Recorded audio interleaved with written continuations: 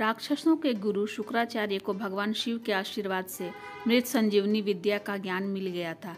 अब युद्ध में जो भी राक्षस मर जाते, शुक्राचार्य ने फिर से जीवित कर देते। देवताओं के लिए बहुत बड़ी समस्या बन गई थी। क्या उपाय किया जाए? देवताओं ने गुरु बृहस्पति भी इस विद्या से अनजान थे। देव गुरु बृहस्पति को एक उपाय सूझा। उन्होंने अपने पुत्र कच्छ से कहा कि वो जाकर गुरु शुक्राचार्य का शिष्य बन जाए और मृत संजीवनी विद्या सीखने का प्रयास करे। बृहस्पति जानते थे कि यह कार्य इतना आसान नहीं होगा। अतः उन्होंने अपने पुत्र कच्छ से कहा कि अगर वह उनकी पुत्री देवयानी को अपनी तरफ़ आकर्षित कर ले, तब उसका कार्य सुलभता से संपन्न हो जाएगा। कच्छ जाकर गुरु शुक्राचार्य का शिष्य बन गया। कच्छ एक तेजस्वी युवक था। देवयानी कच्छ को मन ही मन चाहने लगी, पर यह बात उसने किसी से नहीं कही। इसी बीच राक्षसों को यह पता चल गया कि देवताओं के गुरु का पुत्र कच्छ शुक्राचार्य से शिक्षा ले रहा है। राक्षस समझ गए कि कच्छ का उद्देश्य मृत संजीवनी विद्या का ज्ञान पाना है। राक्षसों ने निर्णय लिया कि कच्छ का जीवित रहना विनाशकारी हो सकता है। अतः चुपचाप कच्छ को मारने की योजना बनाने लगे। एक दिन राक्षसों ने कच्छ को पकड़कर उसका वध कर दिया। देवयानी ने जब यह जाना तो उसने रो रो कर पिता से कच्छ को पुनर्जीवित करने की याचना की। शुक्राचार्य देवयानी का कच्छ के प्रति प्रेम समझ गए। हार कर उन्होंने कच्छ को जीवित कर दिया। अब तो राक्षस क्रोधित हो गए। उन्होंने सोचा कि जो भी हो, कच्छ को रास्ते से हटाना ही होगा। उन्होंने तीसरी बार कच्छ को मार डाला। इस बार राक्षसों ने चालाकी की। राक्षसों ने कच्छ को मारकर उसके शरीर को जलाकर, राख को एक पेय में मिलाकर गुरु शुक्राचार्य को ही पिला दिया। राक्षसों ने सोचा, चलो, अब तो छुट्टी हो गई कच्छ की। लेकिन देवयानी ने जब कच्छ को नहीं पाया तो वो समझ गई कि क्या हुआ होगा। देवयानी ने पुनः अपने पिता शुक्राचार्य से कच्छ को जीवित करने के लिए कहा, किंतु शुक्राचार्य संकट में पड़ गए थे, क्योंकि यदि वह कच्छ को जीवित करते तो स्वयं मर जाते। उन्होंने कच्छ की आत्मा को अमृत संजीवनी का ज्ञान दिया, जिससे वह उनके पेट से बाहर आ गया, किंतु गुरु की मृत्यु हो गई। तब देवयानी ने कच्छ से अपने पिता और उसके गुरु को पुनः जीवित करने का अनुरोध किया।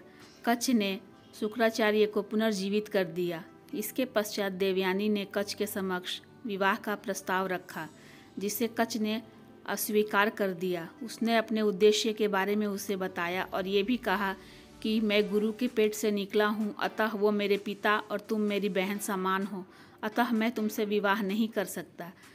ये सुनकर उसने कच्छ को श्राप दिया कि वो कभी भी मृत संजीवनी का प्रयोग नहीं कर पाएगा। इस पर कच्छ ने भी उसे श्राप दिया कि वह जिस किसी से भी विवाह करेगी, उसका चरित्र गिर जाएगा। इस घटना के बाद दिन बीतने लगे। एक दिन देवयानी राजकुमारी शर्मिष्ठा के साथ स्नान करने के लिए गई, जहाँ उसने भूलवश राजकुमारी के वस्त्र पहन लिए। यह देख शर्मिष्ठा क्रोधित हो उसका अपमान कर यह कहती है कि उसके पिता इस राज्य के सेवक हैं और वो एक सेवक की पुत्री होकर राजकुमारी के वस्त्र कैसे धारण कर सकती है? शर्मिष्ठा राजा पुष्पवर्मा की पुत्री थी। शुक्राचार्य वृषपर्वा के सलाहकार थे। अपने इस अपमान पर देवयानी रुष्ट होकर कुछ नहीं कह पाई। अपने कपड़ों में देवयानी को देखकर, उसकी सुंदरता देखकर राजकुमारी ने क्रोध में आकर उसे कुएँ में धकेल दिया। देवयानी कुएँ से आवाज़ लगाने लगी। तभी वहाँ से गुजर रहे राजा आयाति ने उसे हाथ पकड़कर बाहर निकाला। राजा आयाति और देवयानी एक दूसरे को देखकर मोहित हो गए, किंतु राक्षस गुरु की पुत्री होने के कारण वह आगे नहीं बढ़ सके। इधर शर्मिष्ठा द्वारा किए गए अपमान को देवयानी नहीं भुला पा रही थी। जब वह घर नहीं पहुँची तो शुक्राचार्य उसे खोजते हुए उसके पास पहुँचे। उसके गंदे कपड़े देख और उसके चोट को देखकर वह बहुत दुखी हुई। उसके पूछने पर उसने सब बताया और कहा कि वह तब तक घर नहीं जाएगी जब तक कि शर्मिष्ठा उसकी दासी नहीं बन जाती। राजा वृक्ष परवार शर्मिष्ठा भली भांति जानते थे कि शुक्राचार्य के बिना उनके राज्य का विनाश हो जाएगा। इस वजह से शर्मिष्ठा ने उसकी दास्ता स्वीकार करी। उसकी दासी बनकर रहने लगी। एक दिन राजा आयाति और देवयानी की पुनः मुलाकात होती है। देवयानी उन्हें लेकर अपने पिता शुक्राचार्य के समक्ष उपस्थित होती है। वह उनसे विवाह करने की इच्छा जताती है। शुक्राचार्य पुत्री के प्रेम में विवश हो जाते हैं और इस शर्त पर मान जाते हैं कि राजा आयाति कभी भी उसकी पुत्री को दुखी नहीं करेंगे। आयाति भी इसे स्वीकार कर लेते हैं। विवाह के बाद शर्मिष्ठा भी उनके साथ राज्य प्रतिष्ठानपुर जाती है। देवयानी और राजा सुख से जीवन यापन करने लगते हैं, परंतु इसे कच्छ का श्राप कहें या कि होनी, राजा शर्मिष्ठा की ओर आकर्षित होने लगते हैं।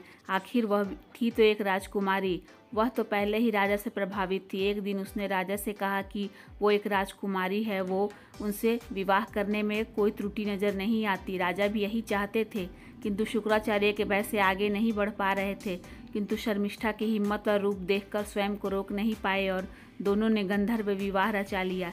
इधर देवयानी ने दो पुत्रों, यदु और तुर्वस्तु को जन्म दिया। इधर शर्मिष्ठा के भी तीन पुत्र, पुरु, अणु और ध्रुव हुए। जब देवयानी को यह बात पता चली कि शर्मिष्ठा के पुत्रों के पिता ययाति हैं तो उसने अपने पिता को सब बात बताई। शुक्राचार्य ने क्रोध में आकर राजा को एक वृद्ध और कमज़ोर व्यक्ति बना दिया। देवयानी ने जब यह देखा कि उसका स्वामी इस दयनीय अवस्था में है तो उसने अपने पिता से श्राप वापस लेने को कहा, किंतु उसके पिता ने कहा, ऐसा नहीं हो सकता। किंतु यदि उसका कोई पुत्र उसे अपना यौवन दे दे तो वह पुनः पहले जैसा हो जाएगा। यह जानकर उसने अपने सभी पुत्रों से याचना की, परंतु किसी ने भी उसकी याचना स्वीकार नहीं की। उसके सबसे छोटे पुत्र पुरु ने कहा कि वह अपना यौवन देने के लिए तैयार इस प्रकार राजा यायाति ने एक के युवावस्था को सौ साल तक जिया। परंतु उसके बाद भी उनके यौवन की लालसा कम नहीं होती। तब उन्होंने जाना कि यह लालसा कभी नहीं मिटती। उसने अपने पुत्र पुरु को उसकी युवावस्था देनी चाहिए। तो पुरु ने कहा, पिताजी, आप कुछ और दिन इसका उपयोग कर सकते हैं। मुझे वृद्धावस्था में कोई तकलीफ़ नहीं है। यह सुन राजा ययाति लज्जित हो गए और समझ गए कि यह कभी न मिटने वाली पिपासा है। राजा याति ने अपने पुत्र पुरु की महानता को देखकर उसे ही अपने राज्य का उत्तराधिकारी घोषित किया और स्वयं देवयानी और शर्मिष्ठा के साथ वानप्रस्थ को चले गए। उनके पाँचों पुत्रों ने पाँच महान राज्यों का निर्माण किया। यदु, यवन, मलेच, भोज और कुरुवंश।